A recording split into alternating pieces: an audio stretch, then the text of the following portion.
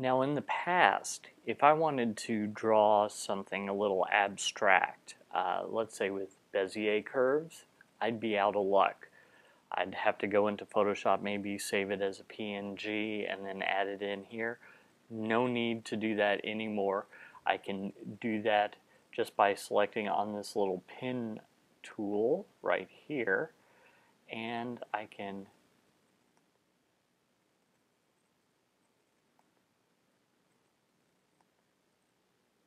click a point, then click another one and drag it out to make a curve.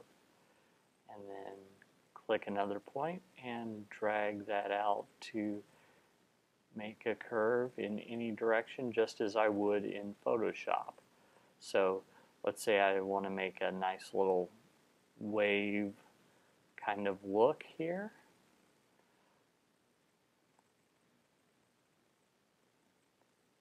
I can just go back and forth and back and forth.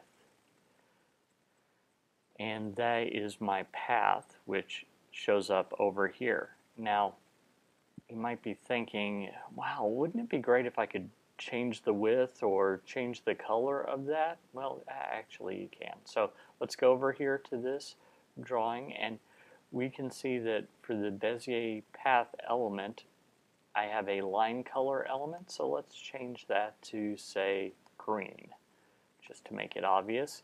And for line width, let's make that big and bold and call that 25.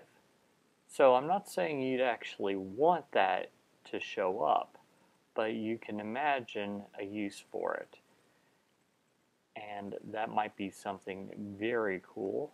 Here, let's maybe make that uh, 35 border radius. Not convinced I've got the correct one chosen, but you can see you can now do some fun things with Bezier curves in ProPresenter 6.